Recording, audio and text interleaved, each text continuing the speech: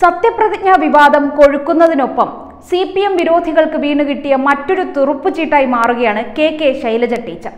രണ്ടാം പിണറായി സർക്കാരിലെ മന്ത്രിമാരെല്ലാം പുതുമുഖങ്ങളായിരിക്കുമെന്ന പാർട്ടി തീരുമാനമാണ് നടപ്പിലാക്കിയിരിക്കുന്നത്. അതിൽ പാർട്ടിക്കാർക്കില്ലാത്ത വേദനയാണ് കണ്ടു നിൽക്കുന്നവർക്ക്. ഏറ്റവും മികച്ച ധനകാര്യ മന്ത്രിയും പൊതുമരാമത്ത് മന്ത്രിയും അടക്കം കഴിവ് തെളിയിച്ച മന്ത്രിമാർ ഇത്തവണ സ്ഥാനാർത്ഥികൾ പോലുമായില്ല. ഏറ്റവും മികച്ച വൈദ്യുതി മന്ത്രിയും വിദ്യാഭ്യാസ മന്ത്രിയും ആരോഗ്യമന്ത്രിക്കൊപ്പം ഇത്തവണ മന്ത്രിസഭയിലില്ല.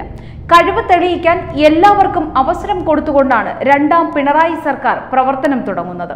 പുതുതലമുറയ്ക്ക് വഴിമാറി കൊടുക്കാതെ അവസരം കൊടുക്കാതെ മരണം വരെ അധികാര കസേരയിൽ കടിച്ചു തൂങ്ങി കിടക്കുന്നവർക്ക് ഇതൊന്നും ദഹിക്കില്ല.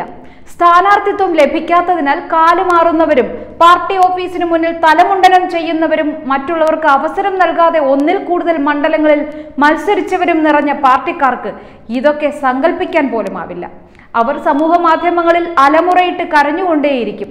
പിണറായി വിരുദ്ധതയും കമ്മ്യൂണിസ്റ്റ് വിരുദ്ധതയും കൈമുതലാക്കിയ ഇവർക്ക് ഇതല്ലാതെ മറ്റൊന്നും ചെയ്യാനില്ല. കെ കെ ശൈലജ ടീച്ചർ മന്ത്രിയായപ്പോഴും പുതുമുഖമായിരുന്നു. പ്രവർത്തന മികവിലൂടെ അവർ ഏവർക്കും പ്രിയങ്കരിയായി. കോവിഡ് കാലത്ത് ലോകം മുഴുവൻ ശ്രദ്ധ നേടുന്ന തരത്തിലുള്ള പ്രവർത്തനമാണ് ആരോഗ്യമന്ത്രി എന്ന നിലയിൽ അവർ കാഴ്ചവെച്ചത്.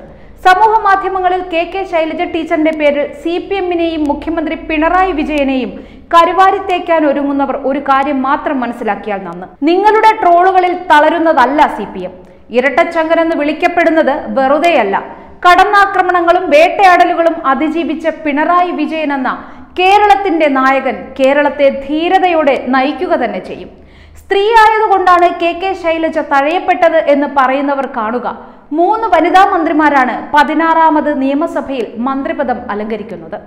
സി പി എമ്മിന്റെ Veena George professor R Bindu C P ഐയുടെ ചിഞ്ചുറാണി എന്നിവർ മന്ത്രിസ്ഥാനത്തുണ്ട്.